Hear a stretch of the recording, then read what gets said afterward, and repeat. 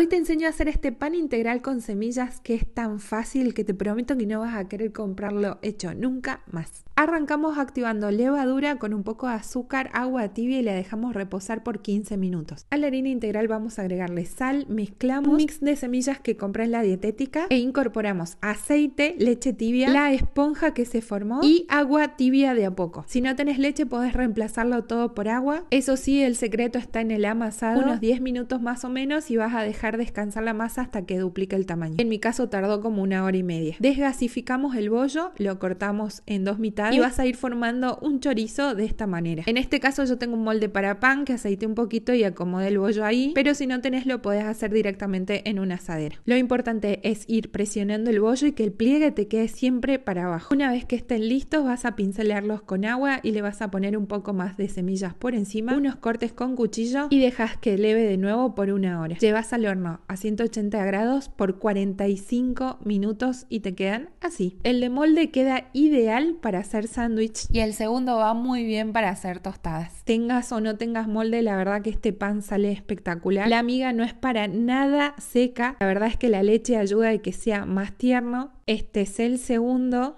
Y en mi caso, como solamente yo como este tipo de pan, lo guardé en rodajas y lo mandé al freezer, así que tenés para el mes completo. Buenísimo.